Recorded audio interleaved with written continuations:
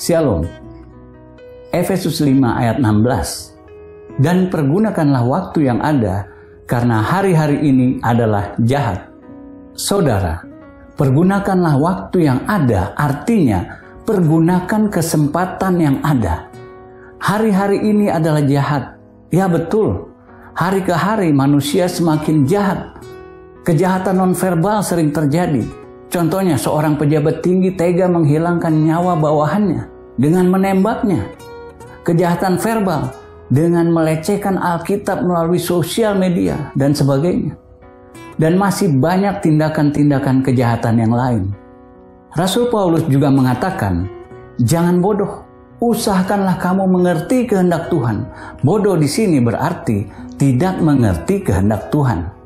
Tidak mengerti kehendak Tuhan berarti sudah sering baca Alkitab, sudah tahu ayat-ayat perintah Tuhan, tapi tidak melakukannya. Seperti seorang yang bebal saja. Jangan mabuk anggur, artinya jangan mencari kenikmatan dari dunia ini, karena semua itu hanya sementara, bahkan sekejap waktu saja, dan dapat menjerumuskan seseorang kepada kebinasaan.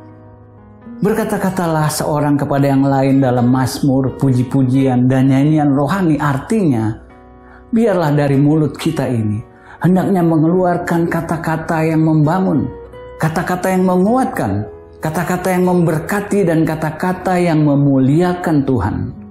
Mari saudara, walaupun saat-saat ini adalah saat-saat yang penuh dengan kejahatan, namun kita sebagai umat Kristus, pergunakanlah waktu pergunakanlah kesempatan yang ada dengan cerdas dan cermat, yaitu dengan hal-hal yang sesuai dengan kehendak Tuhan.